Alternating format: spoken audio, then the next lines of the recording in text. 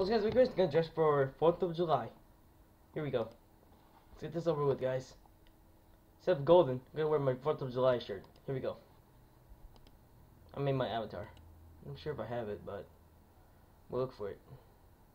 Nope. Nope. Uh, nope. Oh! Right, right, right. Here we go. Perfect, guys.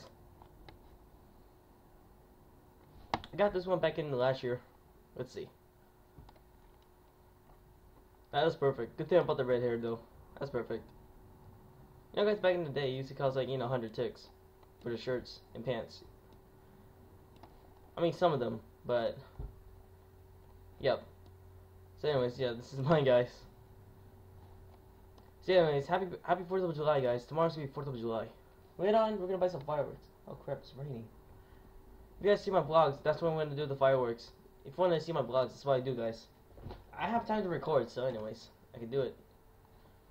So anyways, yep, my avatar, guys. 4th of July. Peace out.